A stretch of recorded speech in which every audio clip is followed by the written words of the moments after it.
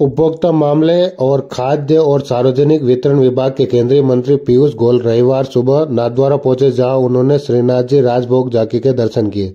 सुबह 11 बजे नाथद्वारा पहुँचे, गोयल ने सबसे पहले पत्नी सीमा गोयल के साथ श्रीनाथ जी का राजभोग झांकी के दर्शन किए। वहाँ मंदिर परंपरा अनुसार बैठक की व उनका स्वागत किया। गोयल ने मंदिर में चल रहे जीर्णोद्धार कार्य को भी देखा और नई व्यवस्थाओं के बारे में खुशी ज़ाहिर की। उन्होंने बताया कि बहुत ही अच्छे दर्शन हुए। यहाँ तो दर्शनार्थियों की सुविधा के लिए नए नए कार्य किए जा रहे हैं। उन्हें देखकर उन्हें काफ़ी अच्छा लगा। वर्ष 2023 में जो भी मेरे देश के लिए, मेरे परिवार में गठित हुआ, उसके लिए श्रीनाथ जी का धन्यवाद किया और उन्होंने आने वाले वर्षो में सब कुछ मंगलमय हो।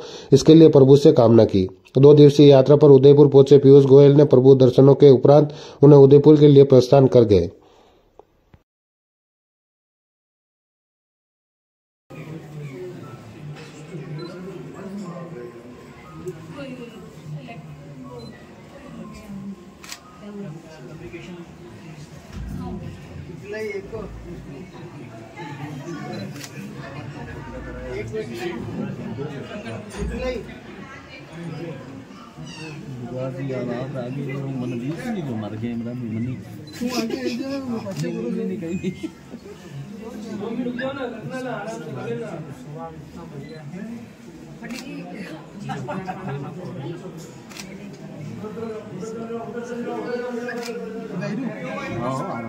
है।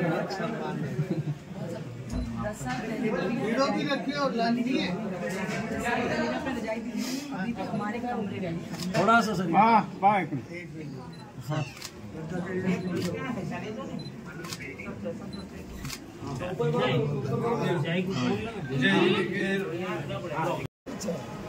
नहीं आने दो ये वो अलग अलग तरीके से अड़चने आ मेरी बातचीत हुई है पीछे आपकी वगैरह से भी आपकी अभी वो लोग भी सोच रहे हैं विचार कर रहे हैं कैसे इंटरनेशनल इकोनॉमी में जाना पड़ेगा अदरवाइज़ हम ग्रो नहीं कर पाएँगे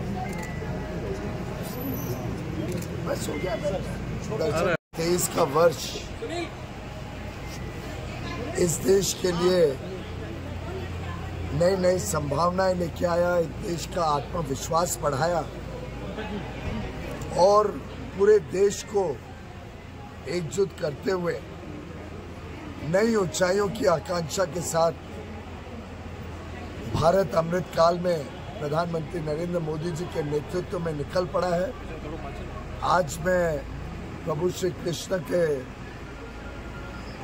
दर्शन करके उनके धन्यवाद करने के लिए आया था।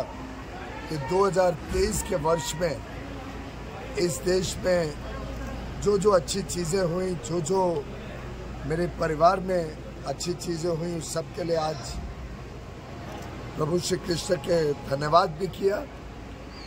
2024 और आगे आने वाले वर्षों में भारत एक विश्व शक्ति, एक विश्व गुरु के रूप में उभरे। भारत नई ऊंचाइयों तक पहुँचे। भारत की युवा शक्ति भारत की महिलाएँ हमारी नारी शक्ति हमारे अन्नदाता किसान सबके जीवन में नए कीर्तिमान प्राप्त हो हासिल हो। और देश गरीबों से गरीबी से पूरी तरीके से।